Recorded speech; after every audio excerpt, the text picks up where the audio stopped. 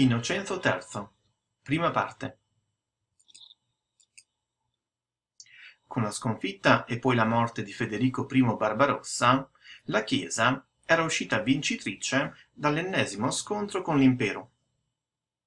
L'erede del Barbarossa, Enrico VI di Svevia, morì dopo pochi anni di regno, riuscendo peraltro ad insediarsi nel regno di Sicilia e a generare un erede, il futuro Federico II.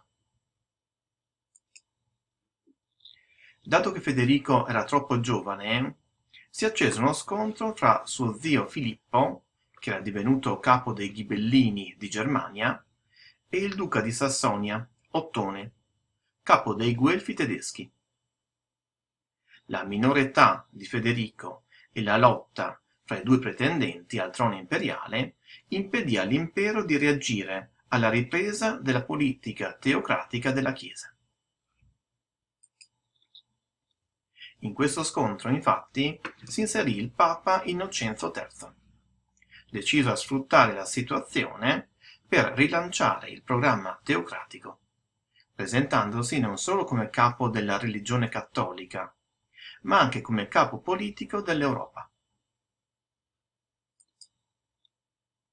Per sostenere la sua teoria, espresse in termini allegorici il rapporto fra pontefice e imperatore. Essi erano come il sole e la luna. Entrambi sono creati da Dio, ma il secondo riceve la luce dal primo.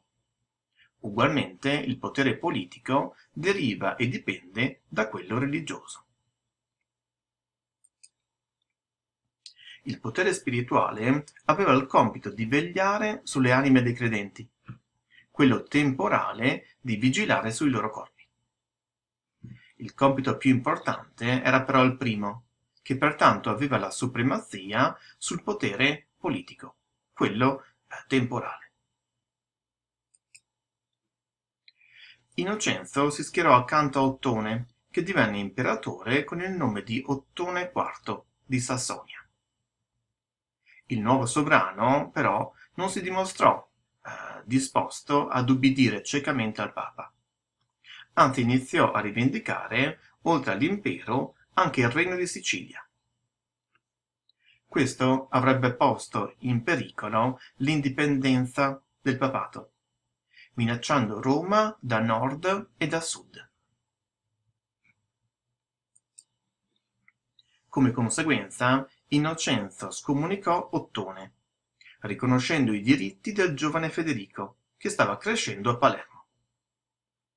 Federico dovette però impegnarsi a non cercare di unire la Germania con il regno di Sicilia. Lo scontro coinvolse l'intera Europa. Accanto al Papa si schierarono gli Svevi, con Federico, e la Francia guidata da Filippo II Augusto, un capetingio. Contro il Papa si collocarono Ottone IV e l'Inghilterra, guidata da Giovanni Plantageneto, fratello di Riccardo Cuor di Leone. Lo scontro decisivo avvenne a Bouvines nel 1214, dove i francesi contro ogni pronostico, vinsero i più forti inglesi, ponendo fine alla guerra. Con la vittoria ebbe termine il dominio normanno su parte della Francia. Federico di Svevia divenne imperatore e Innocenzo III giunse al culmine del proprio potere. Innocenzo III scoprì che non era così facile governare sia pure in forma indiretta, l'Europa. E i sovrani fecero resistenza alla sua richiesta di bandire una nuova crociata, la quarta, per inviare altri aiuti agli stati crociati della Terra Santa, pressati dagli arabi.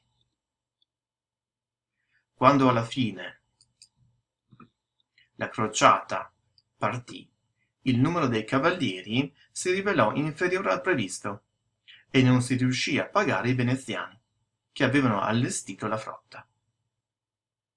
Venezia, come pagamento, ottenne prima la conquista della città di Zara, e poi riuscì a deviare l'intera spedizione, che con grande sorpresa di tutta l'Europa si diresse verso Costantinopoli. La città fu assediata, conquistata e saccheggiata. Dopodiché l'impero bizantino venne spartito fra Venezia e i capi crociati. Per i greci e gli ortodossi in generale fu il segno definitivo della rottura con il mondo cattolico. Lo scisma del 1054 divenne eh, così definitivo. L'impero latino, creato dai crociati a Costantinopoli, ebbe vita breve e pochi decenni dopo i greci riconquistarono la città, reinsediando una dinastia indigena bizantina. L'impero però era ormai esausto. Genovesi e veneziani si erano impadroniti del commercio, privando i bizantini delle risorse necessarie a resistere contro la minaccia turca, sempre più vicina. La crociata invece fu un successo per Venezia, che iniziava a competere vittoriosamente contro Genova. Questa era stata fino a quel momento la più ricca città marinara. La Repubblica di Venezia, guidata dal doge Enrico Dandolo, otteneva molte isole dell'Egeo, fra le quali Creta, una formidabile postazione militare e commerciale. Inoltre Venezia ottenne un intero quartiere della città di Costantinopoli.